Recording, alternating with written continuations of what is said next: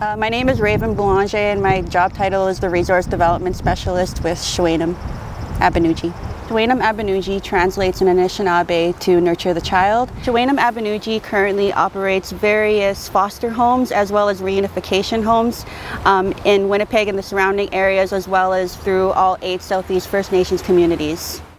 Community Specialized Homes program, which operates homes directly in the Southeast First Nations communities um, in case the children go into care and we try to keep the children within the community and close to their uh, family ties and their identity and where they're from basically. And then the Therapeutic Foster Care Program operates homes in Winnipeg and the surrounding rural areas uh, for children and youth who go into care that are from the Southeast communities. The support work program facilitates family visits and family enhancement. Um, developed a provincially recognized school to meet the education needs of the children and youth in our care.